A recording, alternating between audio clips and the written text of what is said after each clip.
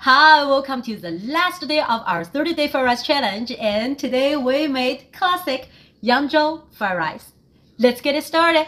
First, we're going to cut the cucumber into small cubes and dice some shiitake mushroom and my some green onions.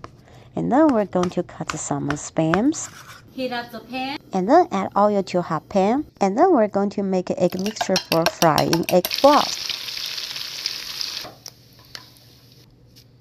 Now we're ready to make our fried rice. Add shrimp, spam, shiitake mushroom, mixed vegetables, and add rice. Then we're going to add the cucumber and egg floss.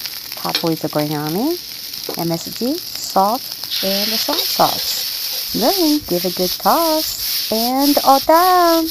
Thank you for watching. I'll see you tomorrow.